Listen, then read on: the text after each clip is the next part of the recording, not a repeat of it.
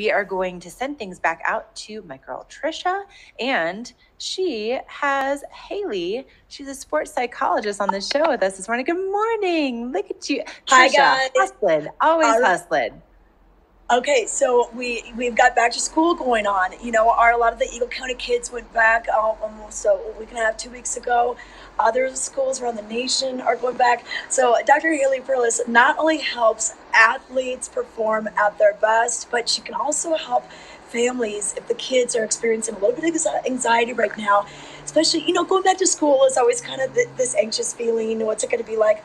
Especially after COVID and 18, 19 months of this.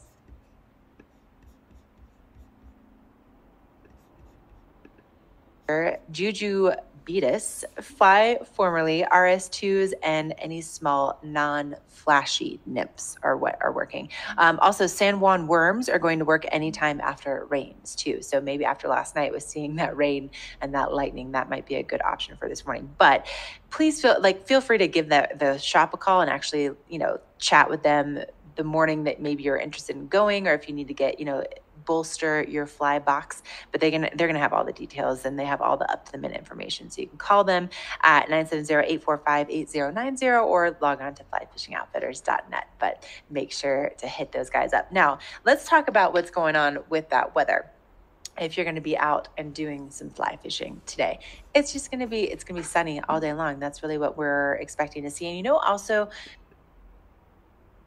in Eagle Ranch, and they have things that are spread out all the way um, from this evening to Sunday. So there's going to be uh, a meet and greet followed by a natural wine tasting tonight, and then Saturday morning um, they'll have some educational presentations at the Capitol Theater. There's also going to be some cooking classes. There's going to be a four-course culinary experience with the assembly featuring wild mushrooms. So it's going to be a really exciting weekend over there in Eagle. And then even like Bonfire Brewing in concert with Seven Hermits is preparing a special beer, which will be available. And then also Mountain Kombucha is preparing a special kombucha brew to introduce to the community. So this is going to be a lot of fun. It's going to be happening this weekend. And coming up here shortly, we are going to be chatting with one of the speakers, which I'm very excited to do. But right now, we are going to send things back out to my girl Trisha, and she has Haley. She's a sports psychologist on the show with us this morning. Good morning. Look at you, Hi, Trisha, guys. hustling, always right. hustling.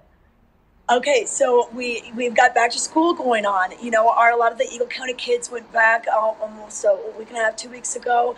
Other schools around the nation are going back. So Dr. Haley Perlus not only helps athletes perform at their best, but she can also help families if the kids are experiencing a little bit of anxiety right now.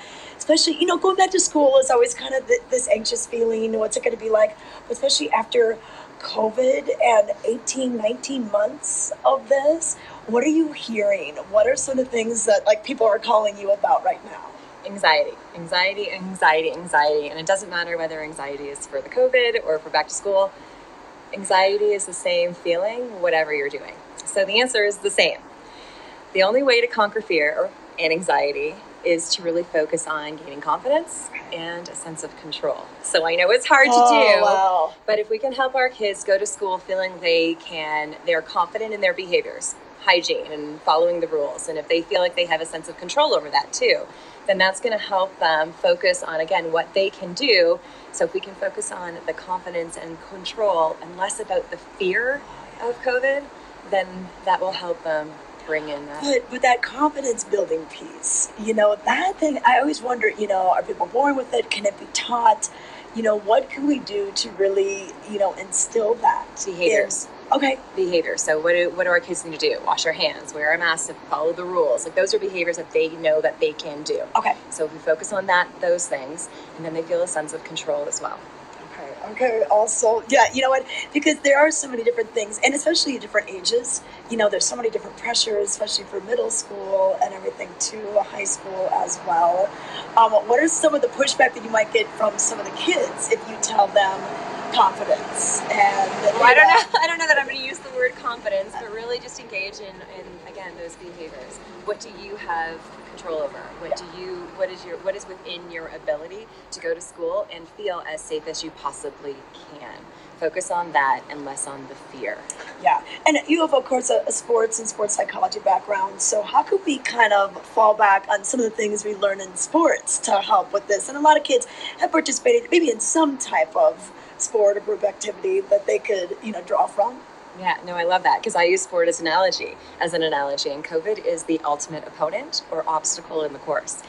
So what do we do to beat our opponent? We learn everything we can about it. And I know there's a lot still to learn and a lot of unknowns, but we have to do like watch game tape. We understand yeah. strengths and weaknesses, and then we look at our strengths and weaknesses and how can we tackle our opponent offensive think, play. Yeah, and I think also if you're having this conversation with your kids or your kids are coming to you with this, just the fact that you're talking about it, you're having the conversation, you're opening it up can do wonders too. And then talk about school. It up. Talk yeah. about school, what they're learning at school, their greatest friends. Like, let's not just focus on COVID. Let's talk about school. Yes, yes, because it's all about learning. all right, okay. all right, Haley. If people want to find out more, what's the best resource for you? Just my website, www.drhaleyperlus.com. Okay. All right. We got to let her go. She's going up on a hike. I'm heading this way to head down to eyepieces and everything. But um, yeah, so thank you so much. And uh, just a great resource in our valley to talk, whether it's with your kids or to achieve your best, whether it's your sports best or business best. Dr. Haley Perlus can help you out. Life's best. Okay. Thank you so much. We'll take it back to you guys in the studio.